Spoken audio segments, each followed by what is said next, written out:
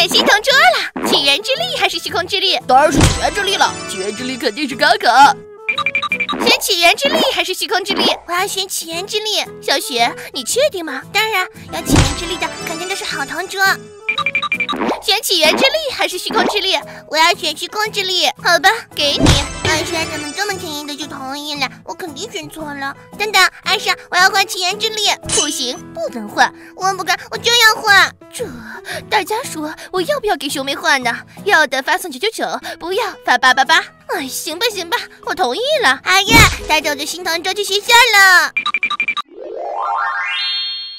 现在可以摘下眼罩看看自己的新同桌了。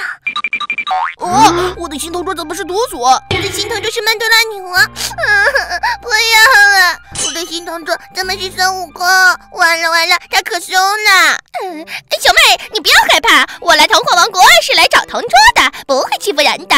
真的吗？当然是真的，我可是孙悟空，从不骗人。哇，孙悟空真好。那毒索，你也是来童话王国找同桌的吗？哈哈，当然不是，我是来收集虚空之力的。快把你们的虚空之力都给我！哇，我的虚空之力卡片，太过分了！秃索，你居然抢小朋友们的卡片，我要消灭你！哈哈，孙悟空，我已经拿到了虚空之力，现在你打不过我的。现在该怎么办啊？小雪，不要慌，看我的静之力！啊，怎么没用？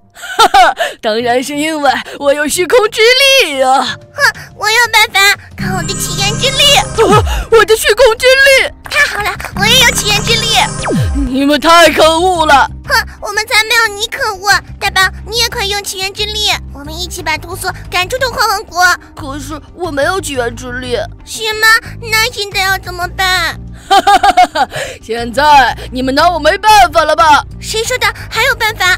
小朋友们，快发送起源之力，我们一起打败图索吧！哼，小朋友们才不会发送起源之力，他们肯定都会发虚空之力支持我的。